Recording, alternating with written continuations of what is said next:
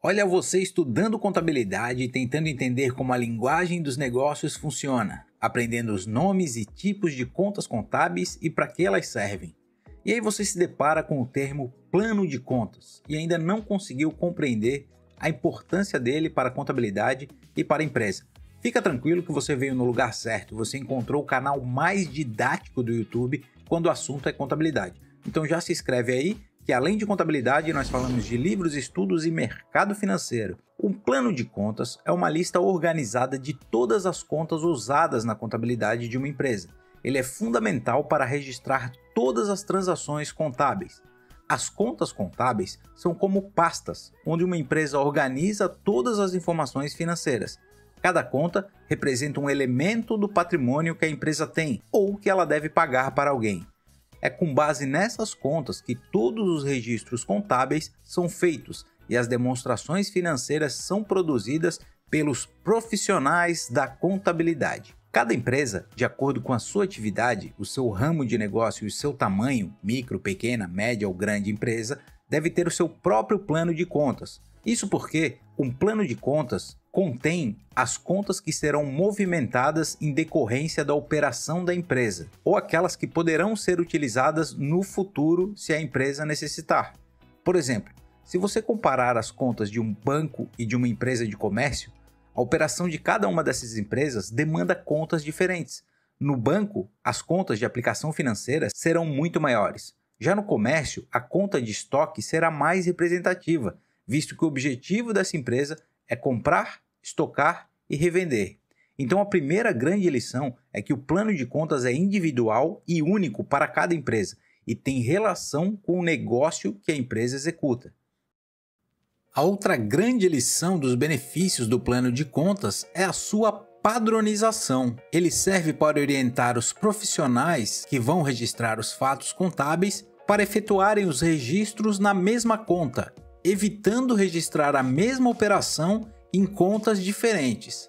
Deixa eu te dar um exemplo de como isso pode acontecer. Estou colocando na tela aqui o balanço de uma empresa varejista, que é a Magazine Luiza. Dá para perceber no passivo circulante que ela utiliza a conta fornecedores e fornecedores convênio para registrar suas obrigações para com os fornecedores. Agora eu estou colocando outra empresa do mesmo setor, que é a Via Varejo, que tem três tipos de conta para registrar as suas obrigações com fornecedores, que é fornecedores, fornecedores portal e fornecedores risco sacado convênio. Perceba que uma mesma operação pode ter vários nomes, sendo que estamos falando de duas empresas que atuam no mesmo setor. Dessa forma, padronizando as contas a serem usadas, nós temos os registros corretos que proporcionam relatórios corretos que servem para embasar decisões bem fundamentadas, que é o objetivo principal da contabilidade. Agora, para que esse plano de contas funcione, é necessária uma codificação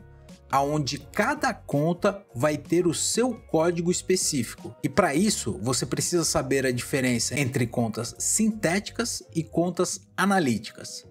Para entender contas analíticas e sintéticas, vamos usar os exemplos das pastas. Imagine que uma conta sintética é uma pasta mãe que possui subpastas abaixo dela. Dessa forma, ao abrir as pastas, você vai chegando mais próximo da informação que você deseja. Entenda que uma conta sintética possui outras contas abaixo dela. Já uma conta analítica tem a informação mais detalhada possível. Deixa eu te dar um exemplo antes de a gente construir um plano de contas no Excel. O grupo do ativo é uma conta sintética, que dentro dele nós vamos ter o ativo circulante. Primeira conta dentro do ativo circulante, por exemplo, vamos colocar banco. Dentro da conta bancos vão estar discriminados todos os bancos que a empresa opera suas movimentações. Empresas multinacionais podem ter mais de 50 contas bancárias. E aqui o nível de detalhamento vai de acordo com o usuário da informação. O importante é que você saiba que as contas sintéticas têm o somatório das contas analíticas.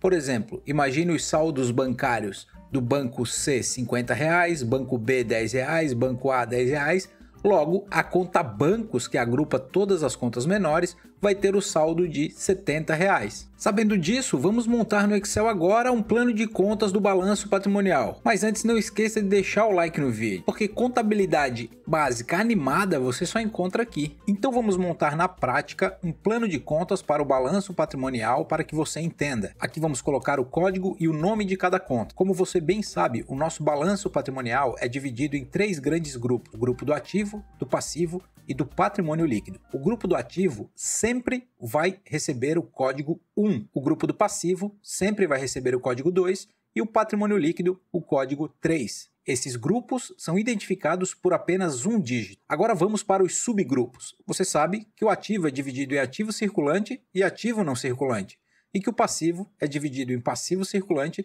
e passivo não circulante. Como esses são grupos que estão dentro do ativo, eles recebem mais um dígito no seu código então eles começam com 1 acrescidos de mais um dígito. Como o ativo circulante é mais líquido e vem primeiro, ele vai ficar com o código 1.1. O ativo não circulante com o código 1.2, o passivo circulante com o código 2.1 e o passivo não circulante por ser uma conta do passivo e mais analítica, 2.2. Dentro do ativo circulante, nós temos contas como caixa, clientes e estoques. Essas vão receber mais um dígito no seu código, ou seja, 1.1.1 para o caixa, 1.1.2 para a conta de clientes e 1.1.3 para a conta de estoques. A lógica é a mesma para as contas do ativo não circulante. Todas vão começar com 1.2 por estarem dentro do ativo, por estarem dentro do ativo não circulante. Logo, nós temos a conta de ativo realizável a longo prazo, investimentos, imobilizado e intangível. Ativo realizável a longo prazo fica com 1.2.1, investimentos 1.2.2, imobilizado 1.2.3 e intangível 1.2.4. Como exemplo aqui, vamos colocar uma conta analítica dentro do passivo circulante. O seu código vai ser 2.1.1 pois está dentro do passivo, dentro do passivo circulante, logo o começo do código é igual. E aqui vamos colocar contas a pagar, por exemplo. Já no passivo não circulante, vamos colocar um financiamento a longo prazo de código 2.2.1. No patrimônio líquido, que começa com 3, a principal conta que sempre vamos ter lá dentro é o capital social. Logo, ele começa com 3, adicionado de mais um dígito, como é a primeira conta, ponto 1. 3.1, capital social. Veja que é uma sequência lógica, é o um encadeamento lógico para que todo esse plano de contas funcione.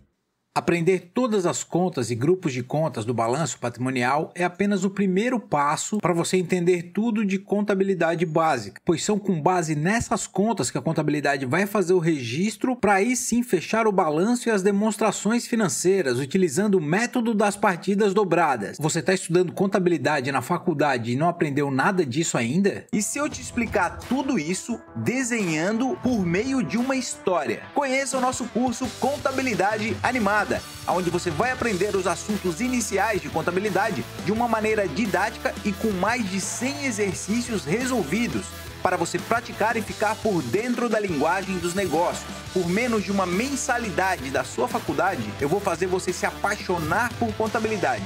Clique no link e aproveite o preço de lançamento do nosso curso Contabilidade Animada.